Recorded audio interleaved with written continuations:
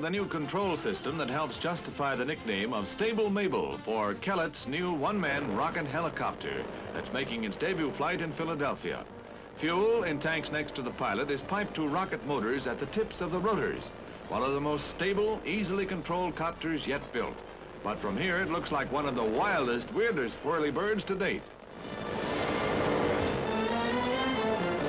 But the darn thing works, and how? Test pilot Norman Lloyd put Stable Mabel through some startling stunts.